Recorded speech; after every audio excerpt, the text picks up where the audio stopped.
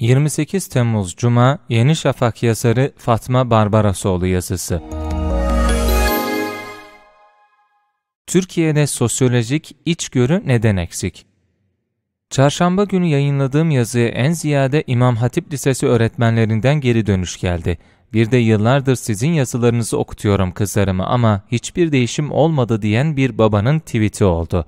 Bu satırların yazarı antibiyotik niyetine cümleler kurmuyor ki hasta yakınlarının verdiğiniz reçete hiç işe yaramadı şikayetlerini ciddiye alalım. Dolayısıyla bahsi geçen tweet'i parantez içine alarak müsaadenizle İmam Hatip Lisesi öğrencileri üzerine fikrimi yoracağım. Yıllardır İmam Hatip liselerinden davet alırım davete icabet ettiğim okullarda öğretmenler biraz da gururla roman okumadıklarını, dolayısıyla benim romanlarımı da okumadıklarını söylüyorlar. Benim romanlarımı okumadıkları için çok şey kaybetmezler. Ama roman okumadıkları için hayatı kavramakta güçlük çektikleri, çekecekleri kesin roman okumadığını söyleyen hocalara peki öğrencilerinize kibri, gururu, saygıyı, cesareti, ahmaklığı, ihaneti, israfı ve aşkı o yaş çocuklarının üzerinde en çok konuşmak istedikleri konu nasıl anlatıyorsunuz diye soruyorum. Cevap yok. Birkaç ay önce benden imaj ve takva kitabım üzerine konuşmamı bekleyen öğretmenlere ve öğrencilere kendi kitabımdan bahsetmek yerine Pirek'in Şeyler romanından okudum. Okurken mekan isimlerini Türkçe olarak değiştirdim. Salonda mutlak bir sessizlik oldu. Sizin için okuduğum metnin bir kısmını tadımlık olarak buraya alıntılıyorum. Buyurun.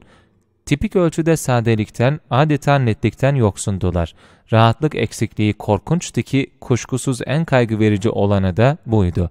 Maddi, somut bir rahatlık değil, bir çeşit serbestlik, aldırmazlık. Sinirlendirmeye, gergin, aç gözlü olmaya, kıskanmaya da denebilir, yatkındılar. Refaha, olduklarından daha iyi durumda olmaya karşı duydukları sevgi, çok kez aptalca yapılan yandaş bir toplanma çabasında kendini gösteriyordu arkadaşları ile birlikte bir piponun ya da sepanın olağanüstü yanları üzerine uzun uzun gevezelik ediyorlar, onları sanat yapıtları müzelik eşya derecesine çıkarıyorlardı. Bir valiz için kendilerinden geçiyorlardı.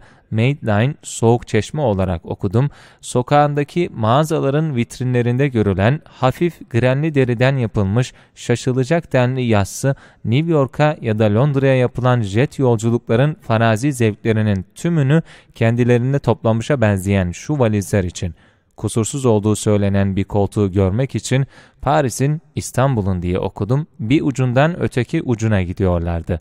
Hatta her zamanki giyimlerini bildiklerinden zaman zaman yeni bir giysiyi giymekte kararsız kalıyorlardı. Üç kez giyinmiş olması onlara o denli önemli görünüyordu. Ama bir terzi, modacı ya da ayakkabı vitrini karşısında vecde gelmek için biraz kutsal bir hava verdikleri hareketleri çok kez gülünç kılmaktan öte bir işe yaramıyordu. Perek 1990-31 İmam Hatip liselerinde roman okumayan meslek dersi hocalarını anlamak mümkün.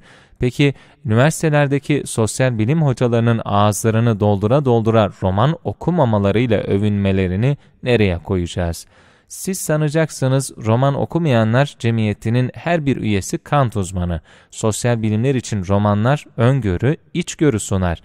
Lütfen Howard S. Becker'ın Toplumu Anlatmak kitabındaki Austin'ın Aşk ve Gurur ve Perek'in üzerine yazdığı makaleleri dikkatlice okuyun ya da katı olan her şey buharlaşıyor kitabından M. Bergman'ın Dostoyevski'nin yer altından notlar romanına dair yaptığı analizi okuyun.